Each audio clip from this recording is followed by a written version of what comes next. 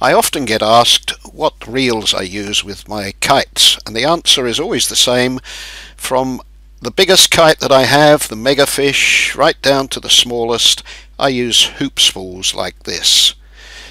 They're ideal as far as I'm concerned. They're safe, they don't break, they're easy to handle and easy to control. If you're letting a kite out as here you can slow it or speed it up just by the pressure of your hand on the reel. And when you finish flying they're equally easy to wind up. You just hold the reel with one hand wind the line on with the other and turn the reel over from time to time maybe every seven or eight turns to avoid getting a very twisted line at the end of things that's not a nice thing to have.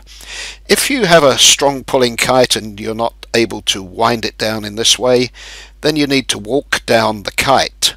So you get yourself a strong carabiner or a small pulley which you can hook over the line have a line or strap attached to that that you can hold on to and then simply walk along the line towards the kite and as you do so the kite will gradually come down when you get to the end of the line, the kite will be at ground level to meet you. You can take it off, pack it up, and then rewind the line very, very easily with no pull on it whatsoever. And remember again to turn it over from time to time to avoid any twisting. Some people prefer a mechanical reel of some kind. This is just a very cheap example from China but it's only useful if you're flying just one kite and usually it has to be a very light pulling kite. And these do have drawbacks. On this one the handle is certainly a weak point. It's not well made. It sometimes gets stuck if you are using it folded in when it acts as a brake on the reel when you're not using it.